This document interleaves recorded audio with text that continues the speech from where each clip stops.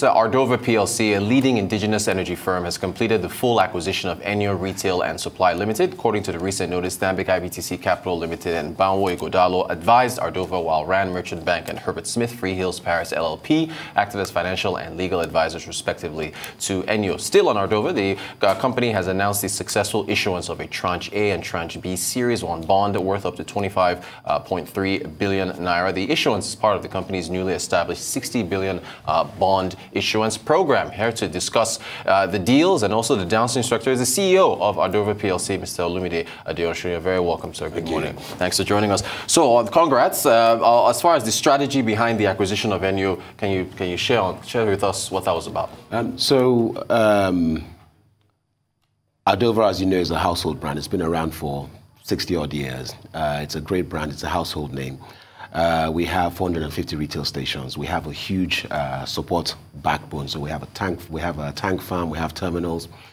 And for us, we wanted to really grow the economies of scale that we enjoy as a business. Enyo represents everything that we kind of didn't have. It was, it's a new brand. It has a, a large portfolio of company-owned, company-operated stations, which are the most profitable channels. And uh, it didn't have a, it doesn't have a supply backbone. So that's one. The second piece of the strategic rationale is really around Enyo's technology focus. Enyo has built a strong systems under Yemi, uh, under Yomi, with uh, a strong technology backbone, retail applications, retail tech. The two together means that we're able to distribute fuels through more profitable channels using the best uh, in-class technology. So it's really something that, uh, that we're, we're, we're, quite excited about and we think we can extract a lot of value from. There, there was another uh, acquisition, I think it was uh, Rainoil. Yeah, the 61% equity yeah. uh, stake acquisition of Eterna. Um, you know, what's in the water? It's as far as all these deals taking place. Yeah, I'm trying not to smile because my CFO reminded me when we were signing for the um, for the acquisition that it, we borrowed money, so don't smile when you're, when you're right, talking. It's a debt, right. we have to pay it back. Yeah. No, I think what we're seeing is what we've always expected to happen. It's a consolidation of the industry. Um, the last time I was here, I cited a, a, a stat for you that there are 30,000 retail stations in Nigeria. 3,000 of them are run by Moman, which means Major Oil Marketers Association of Nigeria, the household brands, mm. which means that you have a large 27,000 portfolio of fragmented stations. What you're seeing now is that everybody understands that you need a system of supply for economies of scale. So if you have a depot, it's really important that you have a retail leg to, uh, to push it through. So I think we're going to see a lot more consolidation. It's been happening for a while now. Uh, before us, I think Mobil, uh, yeah. NIPCO did that deal. So we're going to see more of that, and I think that's the general direction of travel for the industry. Great stuff. Um, uh, for, for you and the increased uh, retail presence with this um, taking over Enyo now, does it help to have an increased presence with the uh, Dangote refinery coming on stream in the near future? Absolutely. Um, if I was a refiner, um, I would prioritize my my customers. Uh, I would I, I, would apply the Pareto principle, meaning that 80% of my business will probably come from 20% of my customers. I would look for players that have the scale to be able to move products down uh, downstream retail, particularly if I have no interest in participating in that space. And so it's really the organized uh, corporates that have that capacity, that have the integrated system from depot, marine vessels, uh, retail stations, terminals, really to push it down from coast to pump. Mm. So I think from a, from, a, from a focus and from a scalability perspective, it's certainly something that, we that we've looked at and it's part, of the, it's part of our strategy. Great stuff. Uh, speaking of strategy, I mean, profit margins in the downstream sector a bit, bit on the slim side. Um, you've got the NNPC being the major importer of, the, of, the, of, uh, of refined uh, petroleum products. The most popular item, PMS, there's a heavy subsidy on that. Yeah. How do you how do you maneuver past all that? It's a very good question. Thank you. So first of all, I think it's important to say that uh, shareholders like my core shareholder, uh, Mr. Abdul Wasiu Sowami, uh, Mr. Gabriel Ogbechie of uh, Rainoil. These are guys who really believe in Nigeria, right? They invest heavily in Nigeria right. against the odds.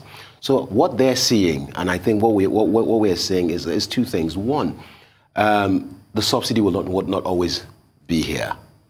Uh, two, it really is important to have those retail outlets do more than just retail. So one of the, um, I think one of the, I read something earlier today where, where they, we, we looked at our numbers and we said that we have 96%, uh, sorry, uh, 86% uh, cost of sales.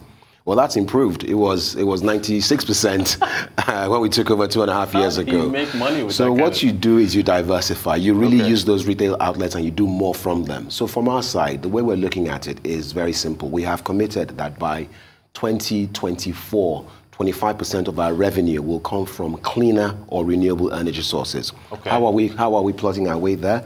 We have commissioned and we're well into the construction of a 20,000 ton LPG storage facility in Ijora. We have a 16.6 hectare site there. We're taking 8.8 of it and we're building the largest storage facility for LPG. So we're betting, we're betting on LPG as a future fuel. Uh, the statistics tell us that uh, currently we do 1.5 million tons of uh, LPG as a country. The general direction of travel is that in three to five years' time, that number will rise to about 5 million tons. We want to be part of it. And the way you bring gas in economically is by bringing it in uh, at scale. So having a large, uh, a large storage facility means that you can bring a, a very large LPG carrier to do the decanting, and then you can push some of that value down the, down the line. We're also doing a lot of work at our retail stations to, to really make them more than just fuel stations. We're putting the retail back in.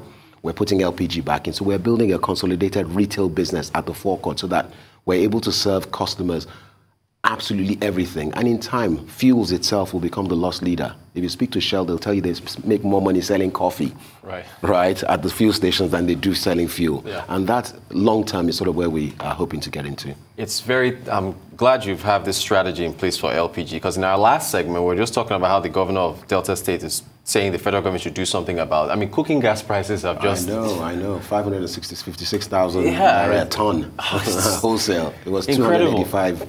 Right, right. a so year th- ago. that- it's good, good to see that you have that foresight there. Um, so on subsidies, though, any, I mean, a lot, when you last time you were on the show, we talked about that extensively. Any um, headway with government or? Yeah, so the conversations are the conversations are happening. Uh, we had a very productive session with the authority, uh, Mr. Farouk Ahmed. Um, he's someone I have a lot of uh, respect for, and he's someone who seems keen to drive the agenda. Uh, there has been some lag in the transition plan, which was meant to come out 60 days after, but I think we need to take a slightly longer look. This is a very difficult position for the government to take. The impact on hu- the human impact of it alone is enough to cause people to pause, but it's a decision that has to be ma- made in the interest of the country. We can no longer support the subsidy regime that we have. So we're expecting that within six months we'll start to see some positive steps uh, that are codified already in the Act.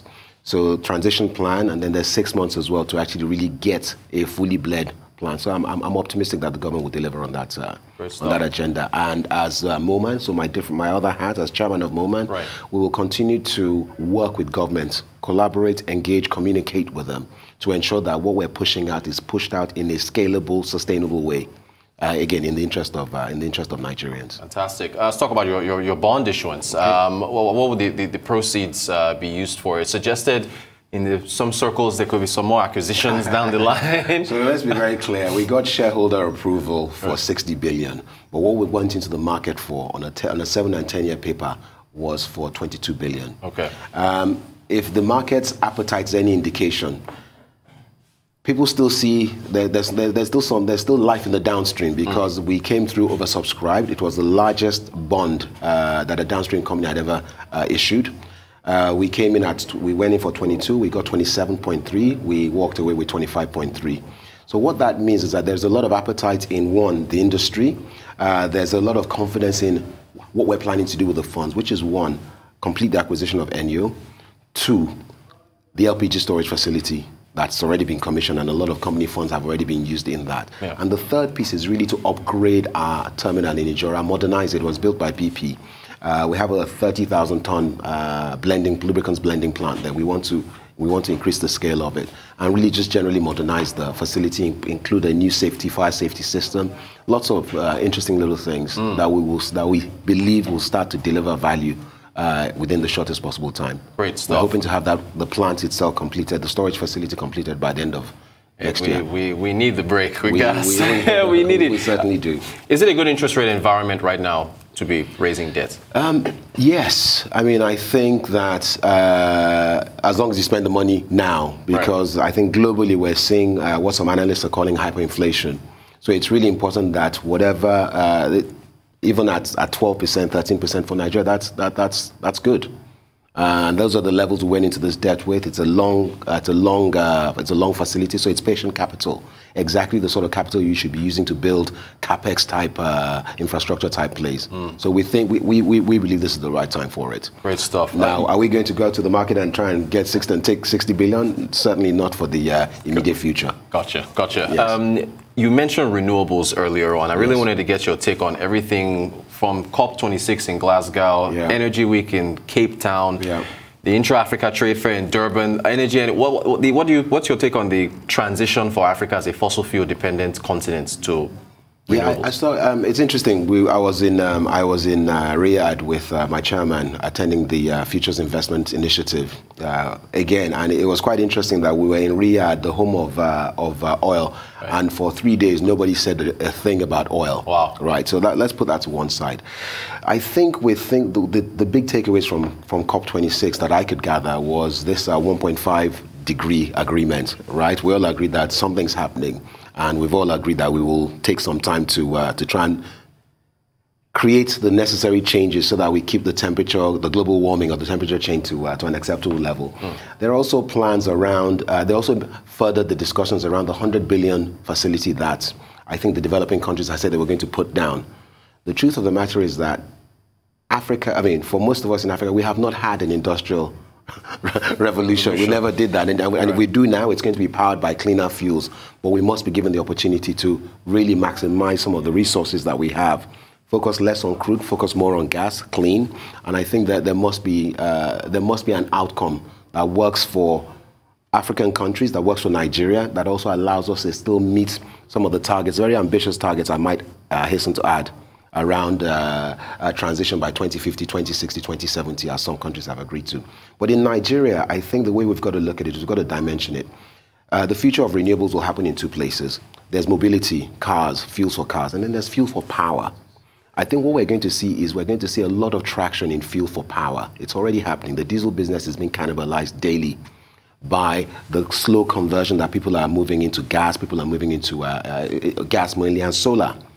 For mobility, it'll catalyze over a longer period of time because we're not going to see the uh, the uptick in uh, in EVs, electric vehicles, as uh, we're seeing in some of the major economies. Yep. It'll happen at the it'll happen at the luxury car range, but we will also see some catalysm at the at the keke level, right? The, the, the, I mean, China, the advancements they're making in electric bikes right now is immense.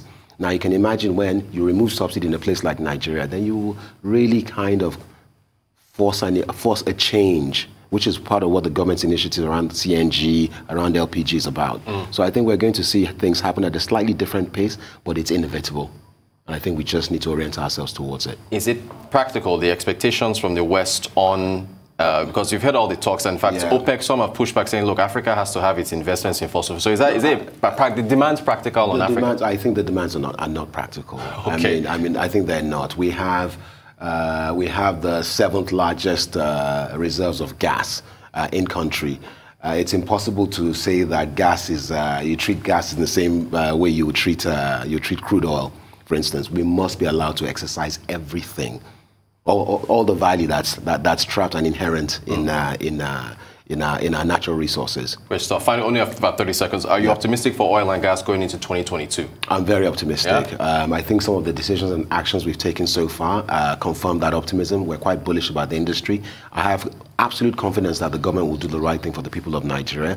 I also have total confidence that as we manage the transition from a subsidy regime to, a, to, a, to subsidy removal to a liberalized um, uh, economy, we will do it in a way that really takes into account people's expectations and people's daily needs around power. Great stuff. The CEO of Ardova PLC, Mr. Olumide Adeosun, and the head of Moman, thank you for joining us. Thank you very much.